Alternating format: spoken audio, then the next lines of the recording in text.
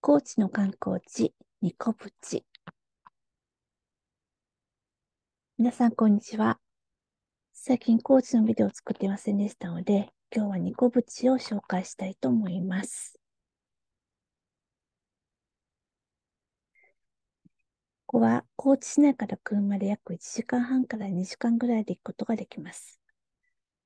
別名で仁淀ブルーとも言われているとっても綺麗なところです。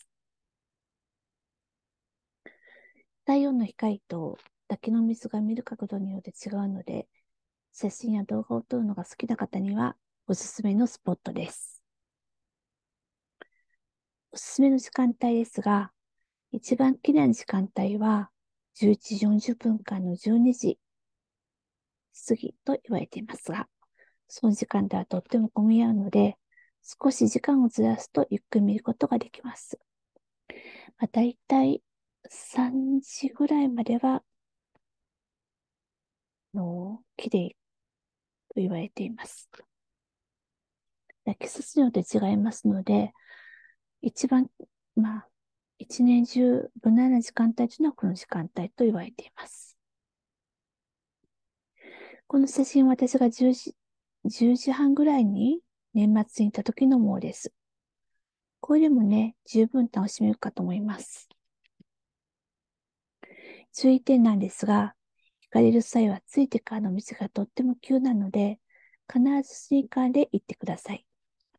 また、雨の日の後はとっても滑りやすいので、行かれる日がお天気でも、前日が雨だった場合には気をつけていってくださいね。ここに行くまでにも、イの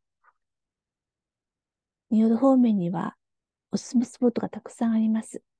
順番に紹介していきますので、楽しみにしていてください。では、次の動画で。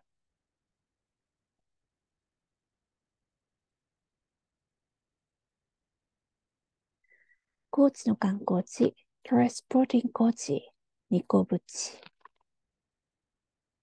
Hello everyone, I haven't made any Kochi videos recently, so today I would like to share Nikobuchi.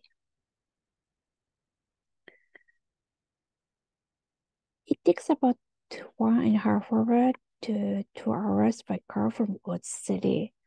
It is also known as Nyodo Blue. It is a very beautiful place. It is a recommended spot for those who like to take pictures and videos. A sunlight and the water of the waterfall change depending on the viewing angle. It is said that the most beautiful time is from around 11.40 to around about 12, but it is very crowded during that time. If you can arrange, if you can arrange your time a little bit earlier or later, then you can see it whatever you want. Um, around, I think it's it it is saying about uh, 11.40 to until 3 o'clock is okay, but it depends on the season and in the month. So that's why uh, all the year is about, all the year is recommended time is 11.40 to 12. Anyway, so this photo I took around 10.30 in the end of December. You can still enjoy it, isn't it? Good point is when you go, be sure to wear sneakers because the road is after arriving is very steep. And also it's very slippery after a rainy day, so be careful. If it rains the day before, even if it's sunny day, you go. Before going here, there are many recommended spots in the direction of Ino and Nyodo. I will introduce them in order, so please look forward to see them. See you in next video.